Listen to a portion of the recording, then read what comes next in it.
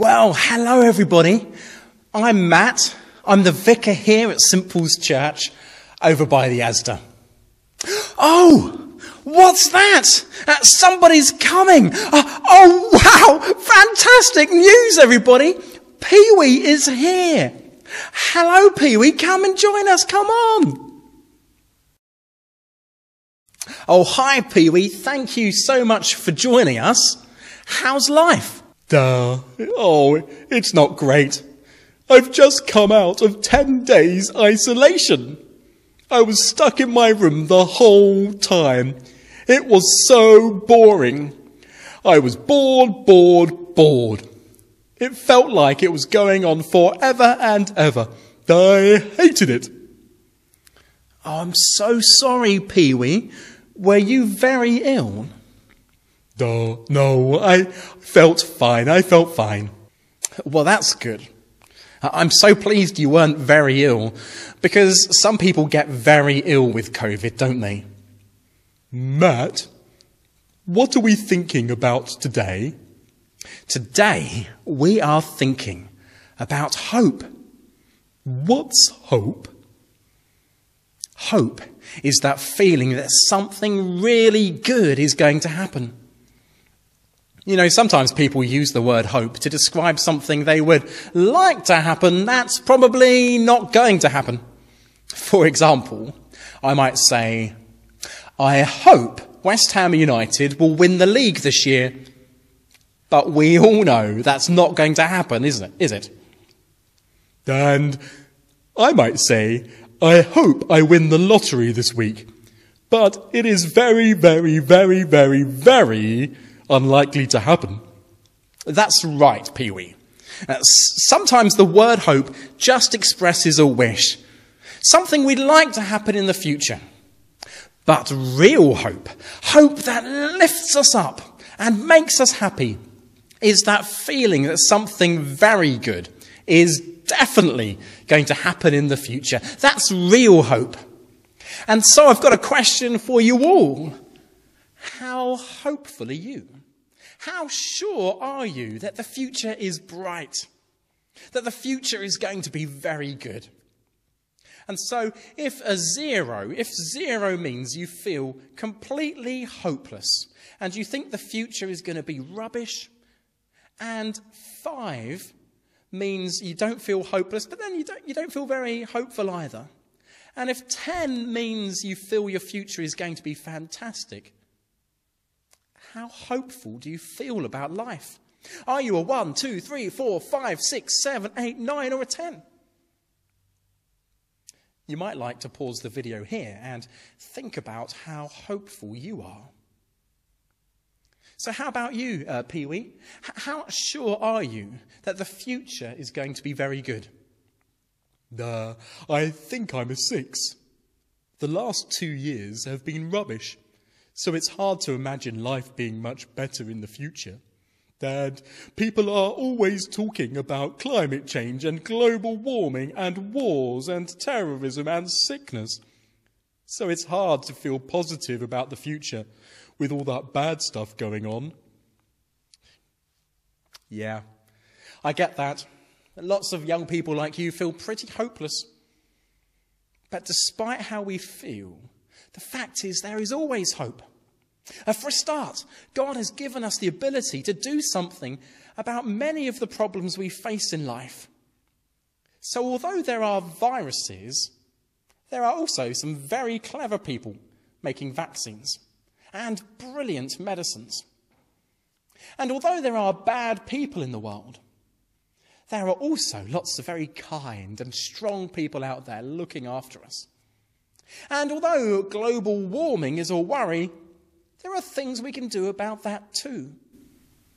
And so, if you feel like you are losing hope or you, have, you feel like you have lost hope, please talk to someone you trust.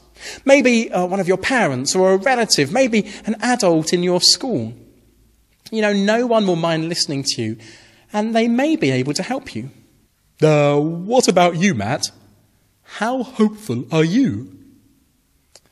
Oh, well, that, that's a great question, Peewee. You know, when I look ahead, I, I know there are going to be some ups and some some downs, there are going to be uh, some good times, and there are going to be some bad times. But I think, at the end of the day, I think I'm maybe, uh, maybe I'm, I'm, a nine, uh, maybe I'm a ten, or maybe even, maybe even an, an, a, 11.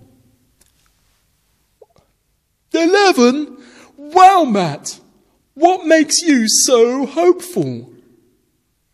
Jesus does. Jesus gives me massive hope for the future because he will make sure that everything works out really well for everyone who believes in him. But how can you be so sure? I'm sure because there are people who saw and heard Jesus for themselves and people who spoke to eyewitnesses and uh, they wrote down in the Bible some of the amazing things Jesus did. Jesus did things that no one else can do, things that prove he must be God. For example, one day he raised a dead girl back to life. On another occasion, he fed over 5,000 people with just five small loaves of bread. It was amazing. Five small loaves of bread, two small fish, and he fed all those people. He healed people who were deaf and blind and uh, the paralyzed. Jesus did so many amazing things. And then, to top it all off, as if that wasn't enough, he rose back to life after people killed him on the cross.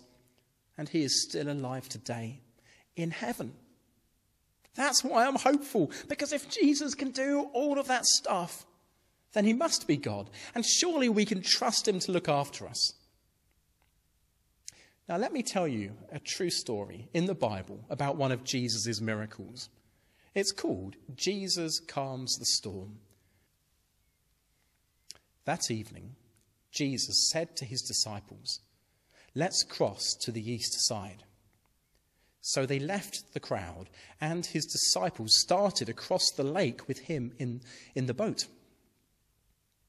Some other boats followed along. Suddenly, a windstorm struck the lake. Waves started splashing into the boat, and it was about to sink.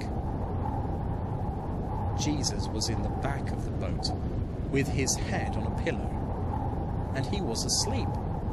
His disciples woke him and said, Teacher, don't you care that we're about to drown? Jesus got up and ordered the wind and the waves to be quiet. The wind stopped and everything was calm. Jesus asked his disciples, Why were you afraid? Don't you have any faith? Now they were more afraid than ever and said to each other, Who is this? Even the wind and the waves obey him. The end. Whoa, wee! What a story! That's amazing! It is amazing. It's a fantastic story, isn't it, Peewee? And Christians believe that it really happened because this story was written down by a guy called Mark, and Mark was a friend of Peter, and Peter was one of the men in that boat in the story. So Mark knows what he's talking about because his mate Peter saw the miracle for himself. There they were, all in a boat in the middle of a terrifying storm. Can you imagine? All the disciples thought they were going to drown. And then, with just a few powerful words, Jesus told the wind and the waves to be quiet, and the storm stopped straight away. Only God has the power to do that. Uh, that's why Christians believe Jesus must be the all powerful God who made the world. Because it shows us that Jesus has the power. He has incredible power, and, and he can use that power to help us when life seems out of control. If Jesus has that kind of power, which he does, then we can trust him to look after us when life is good and when life is bad. And we can trust him with our future. You know, the Bible says that Jesus is going to come back one day, and when he does, he'll make everything perfect. There will be no more suffering, sickness, or death, and, and definitely no more isolating in your bedroom. That's why I have great hope for the future, because Jesus has shown us that he is God, and that He cares for us, and that He has the power to help us. So, if you would like to know more about Jesus and have more hope in your life, why don't you come along to. Paul's Church one Sunday at 10 a.m.? We would love to see you and your family. Well, I'm going to pray now and ask God to give us more hope for the future. Do you remember how I like to end my prayers? I like to end them with a great big Amen. If you'd like to join in with this prayer, please bow your head and close your eyes. Dear God, thank you that we don't have to feel miserable and hopeless because there is always hope. Please help us to feel happy and positive about the future, even when life is hard. Because there are so many reasons to feel hope, not least because Jesus has the power to help us now and in the future. Are you ready? Amen. Fantastic. Thank you all so much for watching. We will see you next time. Goodbye, everybody. Bye. Uh, goodbye, everybody. Goodbye. Bye.